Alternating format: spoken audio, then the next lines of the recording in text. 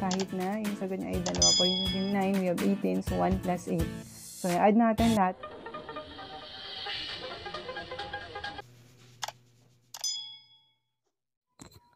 Hello guys, so welcome back again to to my channel. This is Mr. E143.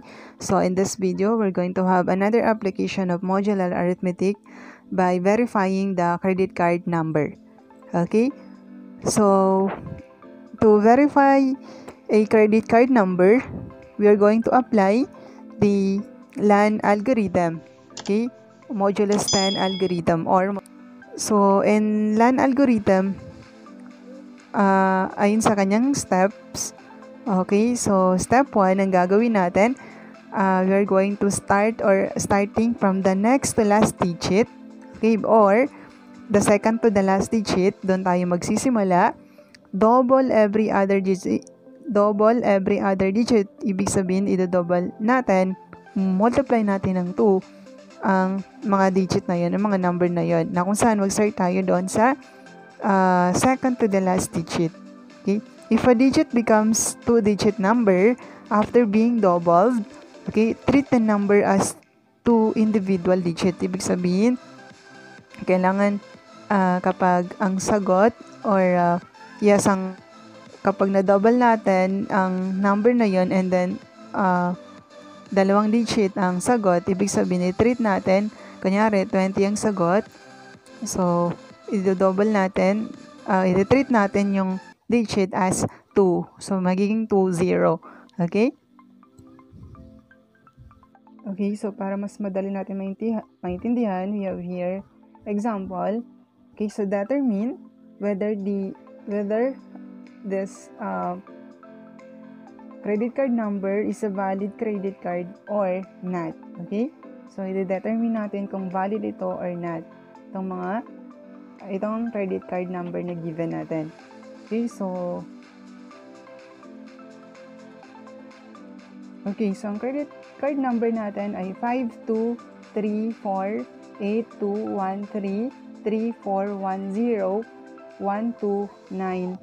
5234821341034109 Okay? So, according to the rule, mag-start tayo doon sa uh, next to last digit or second to the last which is kung dito sa given na to, ang second to the last natin ay 9. Okay? So, ito yung ating start daw tayo dito sa second to the last, which is yung okay, yung 9. Okay, then yung following numbers na, okay? So, next uh, digit. 9, we have 1, 1, 3, okay, 1, 8, 3, then 5.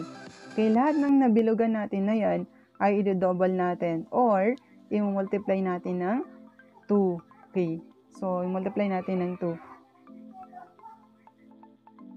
Okay, so 8, then yung second with 9.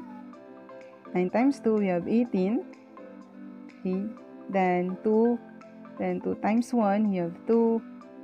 0, then 2 times 1, we have 2. Okay. Next, we have 4. Then 3, multiply natin ng 2, we have 6. 3, then 1 times 2, we have 2. Then copy. 8 times 2, we have 16. Okay, then 4. Um, 3 times 2, you have 6. Then 2, then 5 times 2, we have 10. Okay? So, again, yung dalawang number ang sagot, for instance, yung 9 kanina, ang sagot niya is 18. So, i-treat natin itong dalawang number na yan as 2-digit number. So, ibig sabihin, ito ay 8, ito ay 1. So, hindi 18. Okay? So, gaya rin nung, so first digit we have 5, So, 10 ang sagot niya. So, 1, 0. Okay? Okay, next. Next ay i-add natin lahat ng mga numbers na yan. Okay? So, yung dalawa ay i-add natin. Kahit na yung sagot niya ay dalawa. For instance, yung 9, we have 18. So, 1 plus 8. So, i-add natin lahat ng yan. 1 plus 0 plus 2 plus 6 okay, plus 4 plus 1 plus 6 plus 2 plus 2 plus 3 plus 6 and so on hanggang plus 8. Okay? So, i-add natin. So, ang sagot niya ay Okay, so i-add natin lahat. Sagot niya ay 60. Okay? So, tandaan natin pala na yung sagot ay it must be equal to 0 at modulo 10. Okay, tandaan pala natin na ang sagot in order to valid, kung ba, magiging valid siya kapag yung sagot, okay, ay equal to 0 at modulo uh, 10. Okay? So, ang i-add natin ito lahat, ang sagot niya ay 60. So, 60 divided by 10 is 6. Remainder, 0. Therefore, therefore, ang credit card number ay valid. Okay?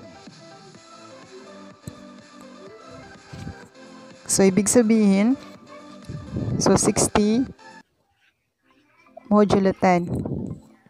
So, 0. Okay? Therefore, tama. It, must be 0 at modulo 10. Okay? Therefore, valid. Okay? Valid yung credit card number. So, kapag hindi siya mag-equal to 0 at modulo 10, ibig sabihin invalid or not valid ang credit card number.